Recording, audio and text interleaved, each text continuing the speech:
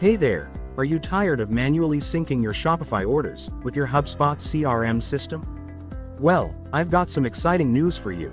Introducing the miniOrange HubSpot Shopify Sync app. In this video, I'm going to show you how this powerful integration can seamlessly sync your Shopify orders directly into HubSpot as deals, and vice versa, providing you with real-time access to valuable customer data. Now, let's move forward to see how it works. Firstly, you need to install our app from the HubSpot Marketplace or the Shopify App Store. You can also install our app from the video description. Once you are done, you need to create the connection between your HubSpot portal and Shopify store and authorize both apps to access and receive the data during the sync. Now, you will be required to select the attributes or properties of the order and deal, which you want it to flow between the platforms, like customer line items, billing and shipping details, discounts, taxes, deal pipeline, custom attributes, and properties.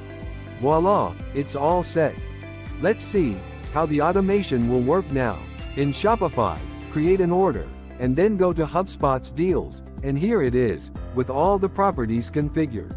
With just a few clicks, you can view important details like customer contact information, order items, order value, shipping details, and even custom attributes and properties. Similarly, you can try creating a deal or updating the deal. The changes will be reflected in your Shopify store automatically. Our app also provides you to create automation workflows to add filters, when to sync the data, so only if those conditions are fulfilled. Then sync will go through. This helps you to control the data flow between apps as per your need. Our app takes care of security and privileges by using the allowed authentication mechanism by both these platforms and ignores any unverified data sync request. Thank you for watching the video. If you have any questions, please feel free to contact us at HubSpot support at xecurify.com.